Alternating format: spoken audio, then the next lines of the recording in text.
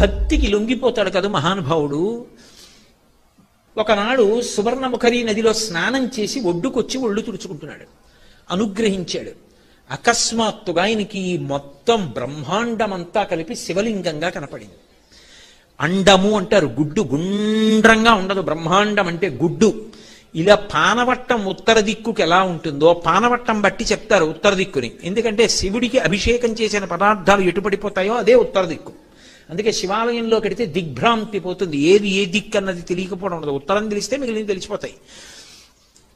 ఆయన చూసేటప్పటికి ఆయనకి ఎలా కనపడిందంటే ఉదయగ్రామము పానవట్టము అభిషేకోతత్ప్రవాహంబు వార్ధి ధరిద్ధాంతము ధూపధూమము జ్వలద్దీప ప్రభారాశి కౌముది తారానిబహంబులద్భుత సుమంబులుగా తమోదూత సఖ్యదమై సీత గభస్తి బింబ శివలింగ పొప్పె ప్రాచీదిశన్ అన్నాడు. ఈ బ్రహ్మాండమంతా ఒక శివలింగంలా కనపడి నక్షత్రములన్నీ దేవతలు పూజ చేసినటువంటి సువర్ణ పుష్పాలైతే ఉత్తర దిక్కున ఉన్న సముద్రాలు అభిషేకం చేసినటువంటి జలాలు అటు పడిపోయాయి. అలాగే ఆయనకి వేసిన ధూపమే ఈ చుట్టూ అలుముకున్నటువంటి పొగ. శంకర నాకు ఇప్పుడు అర్థమైంది ఇది నీ విరాట్ స్వరూపం. ఈ బ్రహ్మాండమంతా నువ్వు నిండిపోయి ఉన్నావు. అది కూడా ఎంత? అంటే చెప్పడం కష్టం. అందుకే శివార్చన చేసే ముందు అభిషేకం చేసే ముందు అభిషేకం గొప్పదా? అభిషేక మంత్ర జపం గొప్పదా? అభిషేకంలో ముందు ధ్యానం గొప్పదా అంటే యథార్థమునకు ధ్యానమే గొప్పది. మీరు ఎన్ని పదార్థాలతో అభిషేకం చేశారన్న దానికన్నా కోరిక ఎందుకు తీరుతుందో తెలుసా? మీరు ధ్యానం ఎలా చేస్తున్నారన్న దాన్ని బట్టి తీరుతుంది. ఈ మాట నా సొంతంగా చెప్తున్నానని మీరు అనుకుంటున్నారేమో. నా ప్రాణం పోయినా నా సొంత అభిప్రాయాలు నేను ప్రార్థన చేశాక చెప్పను. ఎందుకంటే శాస్త్రంలో ఏం చెప్పారో అది చెప్తాను. అది చెప్పడానికే జీవితం చాలదు. ఇక కొత్త విషయాలు ఎందుకు? ఆపాతాళ నభస్థలంత భవన బ్రహ్మాండమా విస్ఫుర జ్యోతిస్ఫాటికలింగమౌళి విలసత్పూర్ణేందువంతామృతై అస్తోకప్లుతమేకమీశమదిశం రుద్రాను వాకాన్ జపం ధ్యాయేత్ ఈప్సిత సిద్ధయే ధ్రువపదం విప్రోభిషించేచ్చివం ధ్యాయేత్ ఈప్సిత సిద్ధయే. వేదం చెప్పింది ఇలా ముందు ధ్యానం చేయి నీ కోరిక తీరుతుంది. కోరిక అంటే అవసరమైతే తీరుతుంది అని అర్థం చేసుకోవాలి ఎప్పుడు తెగని నేను అమెరికా అధ్యక్షుడు అవ్వాలని కోరి అభిషేకం చేశానంటే అవ్వలేదనకూడదు ఆ కోరిక తీరితే నాకు అభ్యున్నతి కలుగుతుందంటే ఈశ్వరుడు తీరుస్తాడు అని అన్వయం చేయాలి. లేకపోతే దానికి అర్థం ఏముంటుందండి ఇంకా?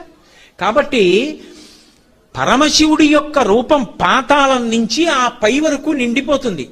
కింద ఎక్కడ వరకు ఉందో పైన ఎక్కడ వరకు ఉందో ఎవరికి తెలియదు అందుకే మనకి వినయం కలగడం కోసమని ఆవిర్భావలింగం ఉంటుంది. ఆవిర్భావలింగాన్ని చూస్తే వినయం కలుగుతుంది. మీరు ఎప్పుడైనా ఆవిర్భావలింగం చూడాలంటే మీరు శ్రీకాళహస్తి దేవాలయంలో కనపడుతుంది. ఎందుకంటే తరచుగా వెడతారు కదా అందరూ. అందుకని నేను అది మనవి చేస్తున్నా.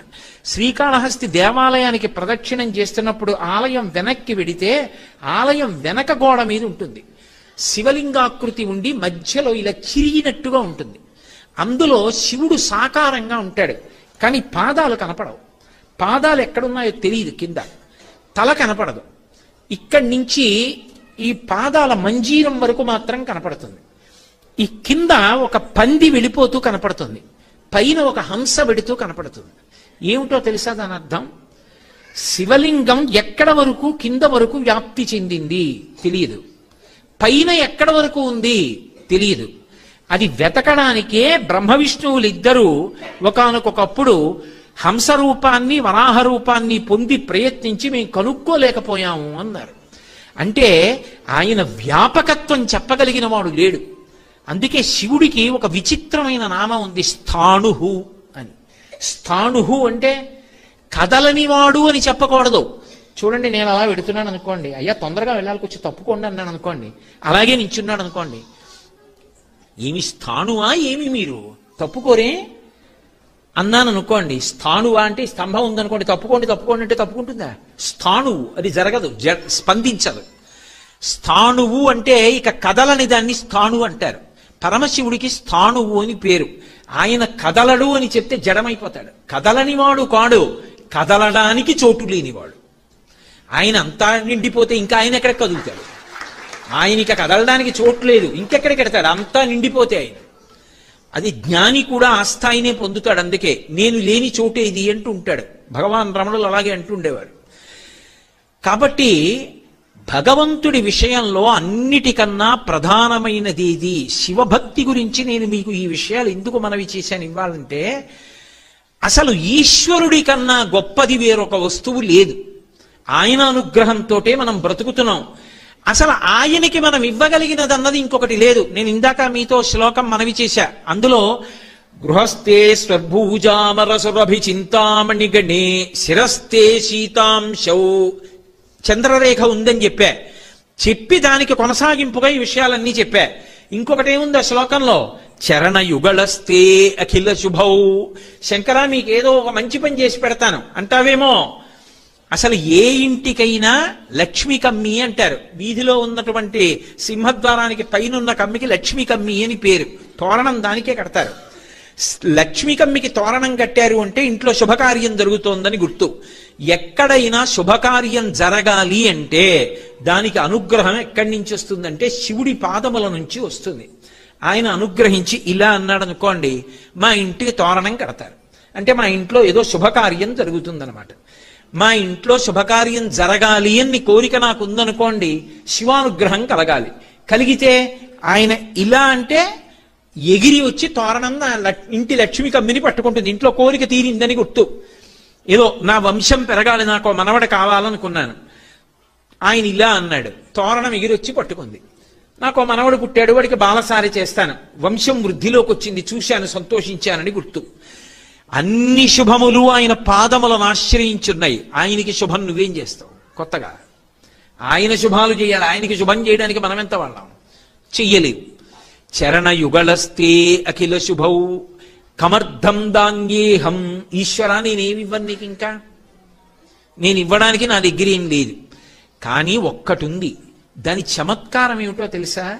నా అంత వాణ్ణి నేను నేను నాది అంటుంటుంది. అదే మనస్సు. ఆ మనసు శంకర మీకు ఇచ్చేస్తాను. అది పుచ్చేసుకో. ఏమిటి గడుసుతనం?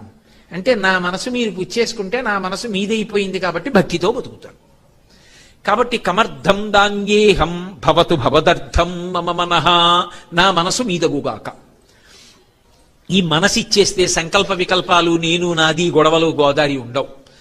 ఆ మనసు శుద్ధం చెయ్యడానికి ఆ వినయం ఆ భక్తి ఏర్పడడానికి మనుష్య జన్మ సార్థక్యం పొందడానికి భక్తి చేత మనిషి తరించకపోతే ఒక్కసారి ఊపి రాగిపోతే మళ్ళీ ఇటువంటి ఉపకరణం రాదు అని బోధ చెయ్యడానికి సమస్తమైన వాంగ్మయం వచ్చింది.